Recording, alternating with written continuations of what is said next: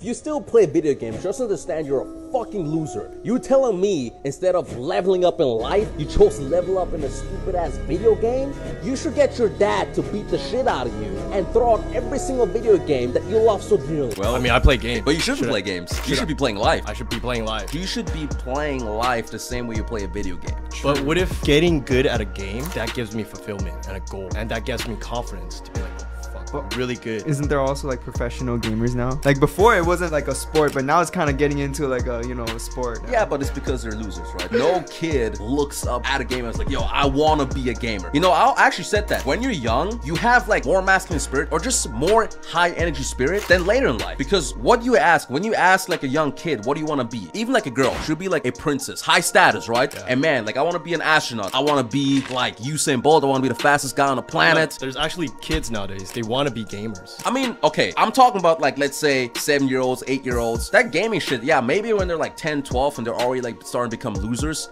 Yeah.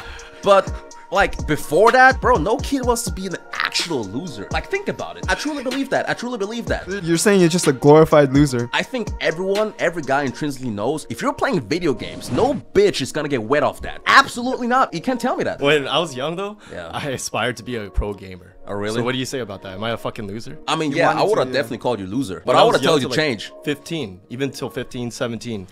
I mean, shit happens, I guess, you know? Yeah. But I hope you changed. You should not be playing video games. You should be playing life. But I still play video games. I still play ranked. I mean, yeah, then you're definitely like, you know, approaching in the direction of loser. But but you guys are, I guess, I don't want to call you a loser if that's Yeah. what you're coming at. Because I'm fucking with you. I know, but I because I don't think you're a loser. Yeah. And probably I don't know, probably you didn't you don't even play uh, play video games like that. He's I like, don't he's know. like, oh shit, I'm in his house right now. he's gonna kick my ass out. He's like, no, he's like, oh fuck, I gotta hold back a little bit. I'm there- I mean, look, because everything's a spectrum, right? Like, if you're telling me, like, yo, bro, I play video games like 15 hours a day, that's all I do. I'm like, yeah, bro, probably like, you know, you're a loser, right? But shit happens. But if you say you play like an hour a day, I'd be like, yo, you could do better for sure.